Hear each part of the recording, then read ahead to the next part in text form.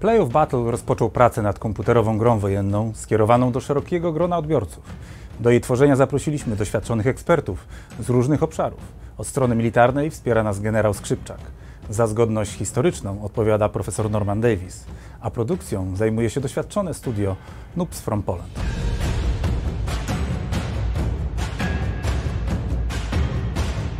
W swojej karierze wojskowej organizowałem i prowadziłem gry wojenne na szczeblu strategicznym i operacyjnym. Opracowywałem plany użycia sił, polskich sił zbrojnych poza granicami kraju.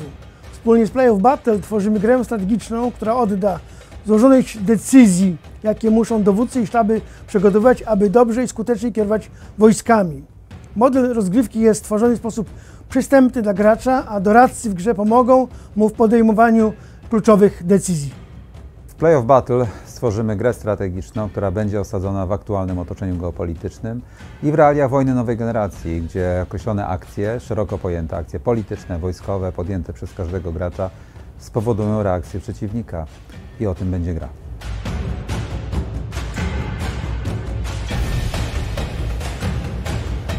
Noobs from Poland jest studiem skupiającym się na tworzeniu gier strategicznych.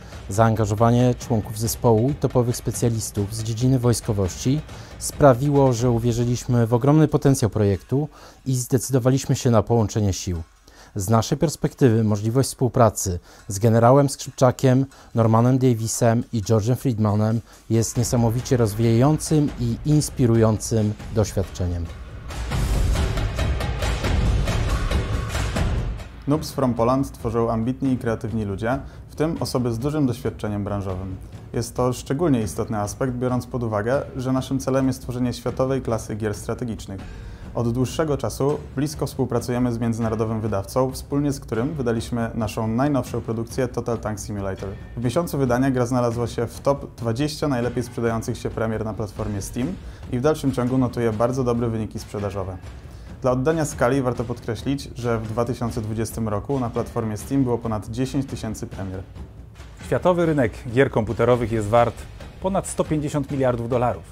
Chcemy być jego częścią i chcemy do tego zaprosić również Was. Już niebawem będziecie mogli kupić akcję Play of Battle. Dołączcie do nas.